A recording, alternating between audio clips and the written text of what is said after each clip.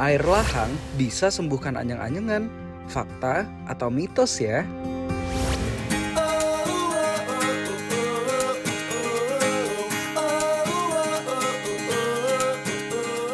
Hai guys, kita berdua sekarang lagi ada di Desa Gunasari, Sumedang, Jawa Barat. Betul banget. Dan tentunya kita di sini mau traveling di desa ini sambil mau ngeliat apa aja sih yang ada di desa ini ya dok ya. Oke, yuk, ikutin. Let's go.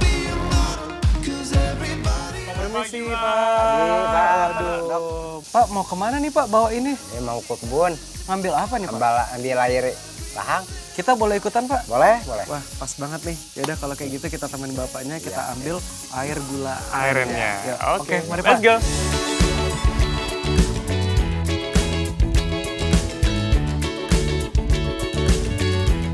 Nah, jadi ini nih guys, pohon yang bakal nanti diambil airnya ya Pak ya. Oke deh Pak, ini caranya gimana Pak ngambilnya? Manjat ke atas. Manjat dulu. Berarti ini tetap di bawah. Apa Iya, ditaruh di bawah ini.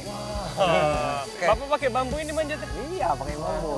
Jadi pakai tangga tradisional dok, lihat dok. Ada ini, ada tapakannya dok. Buat sampai ke atas, Bapak udah nyediain tangga yang terbuat dari bambu yang dibolongin. Gunanya buat tumpuan jempol kaki agar bisa sampai ke atas dahan. Tangganya cuman sebatang bambu gini aja guys.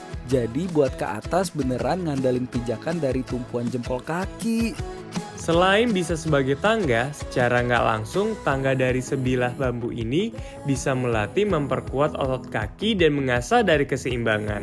Oh iya guys, semalam Bapak udah masang alat bambu buat menampung tetesan air aren. Dan sekarang waktunya mengambil dan mengganti bambu yang bakal menampung tetesan airnya.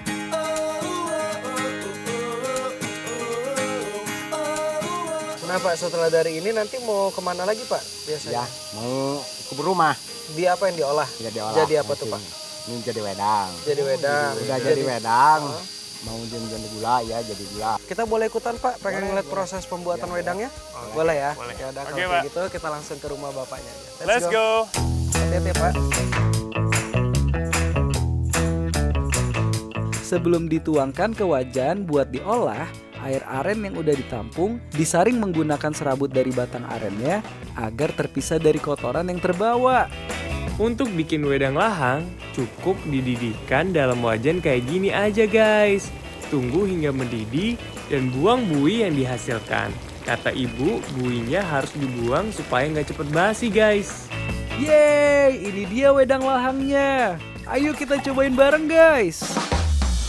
Nah ini dia guys, minuman wedang yang udah dipanaskan asli tanpa pemanis buatan ya. Oke, cheers. makan ya. Terima kasih Bu, Bapak atas wedangnya. Bisa minum. Somewhere out here, way up high in the stratosphere, there's someone. Manis banget. banget Pak. Bener-bener menurut aku ini rasanya kayak kalau kita minum teh ditambah gula aren. Nah, kayak Iya. gitu rasanya. Ini ba- bagus juga untuk stamina. Stamina Oh, iya, ya. Bentar dari mana tuh? Dari Suka lihat apa sehari-hari emang udah pernah dibuktiin ya Bu ya? Jadi sebenarnya kalau dari aren itu sendiri apalagi wedang aren ini itu kayak akan cairan isotonik. Jadi isotonik itu apa?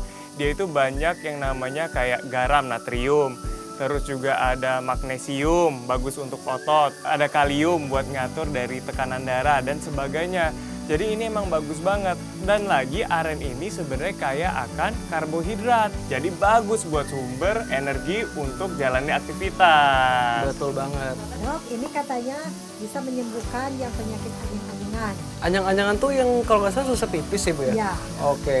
Jadi sebenarnya Bu belum ada penelitian secara pasti Bu ya atau dilakukan penelitian bahwa wedang ini atau dari air nira ini bisa menyembuhkan orang yang susah pipis. Tapi kalau kita lihat orang yang biasanya susah pipis itu ada faktor penyebabnya Bu. Salah satunya bisa karena penyumbatan. Penyumbatan yang bisa ada di saluran e, kencingnya ataupun ada di ginjalnya yang menyebabkan pipisnya itu tidak lancar. Tapi tetap disarankan meminum e, wedang ini atau air nira ini yang alami seperti ini untuk kesehatan lainnya. Dok, mumpung kebenaran ada dokter ke sini, Hmm. ibu punya gatal sedikit Oh, di tangan. iya iya. Gatalnya udah berapa lama bu? Ini kurang lebih udah adalah dua tahunan. Dua tahunan. Jadi kalau misalnya ini dikenal kalau bahasa medisnya itu LSK, lingked Betul. simplex kronik, yang disebabkan misalnya karena stres ya dok ya paling Betul. banyak ya. Atau ibu bisa juga ini dia semakin menebal dan semakin membesar karena ibu garuk-garuk terus. Jadi dia karena mau ibu garuk terus kukunya panjang jadinya luka. Jadi dia nambah luka baru lagi. Jadi sebenarnya untuk pengobatannya yang pertama itu adalah untuk menghentikan dari gatal garuknya. Nah jadi ini kita kasih uh, pengobatan untuk mengurangi dari kekeringan dan juga rasa gatalnya ya. Untuk penanganannya, kami mengolesi area tangan ibu yang gatal dengan salep pelembab, salep antibiotik, dan juga obat minumnya. Sama-sama.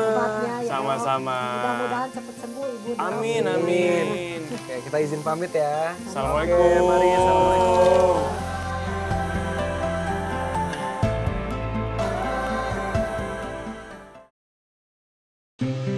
Benar kalau badan meriang itu solusinya kerokan.